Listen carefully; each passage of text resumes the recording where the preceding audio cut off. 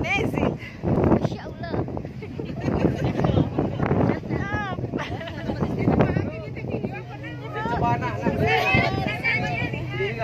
Kesannya, kesannya. Buat buat itihad kesannya. Ngomong, ngomong. Masya Allah. Masya Allah. Masya Allah. Itihad is the